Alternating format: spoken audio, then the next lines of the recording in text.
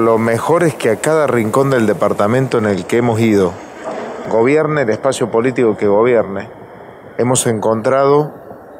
una presencia del Estado Nacional, incluso en localidades donde nunca el Estado Nacional había llegado en toda su historia.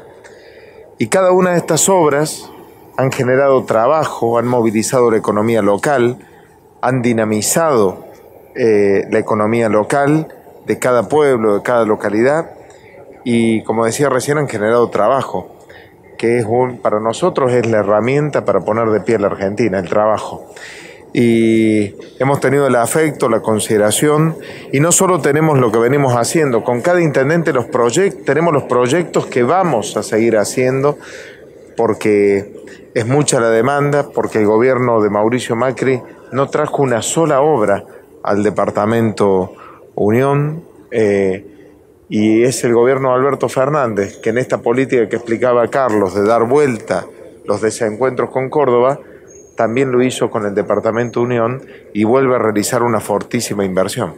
A nosotros en cada recorrido que hicimos por el interior del Departamento Unión, en cada visita, la gente nos pide lo mismo, la esperanza de salir de la pandemia y la esperanza de salir de la pandemia económica que nos dejó el macrismo. Hay un dirigente que hizo un spot diciendo que si nos votaban a nosotros estábamos en contra de la propiedad privada.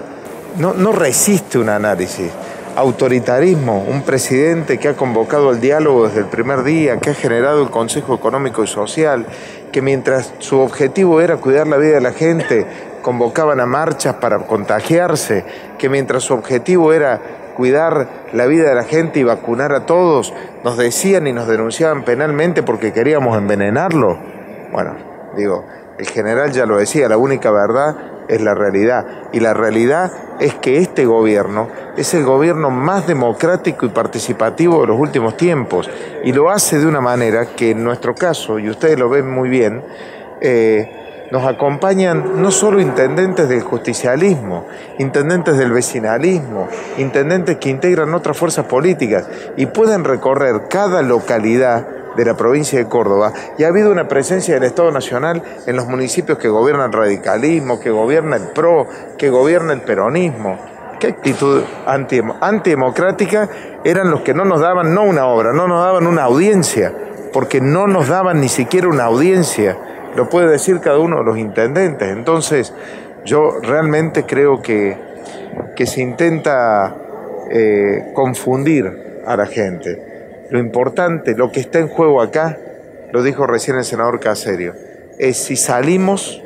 o si volvemos a las políticas de Macri, a donde estamos convencidos que la mayoría de los argentinos no quieren volver.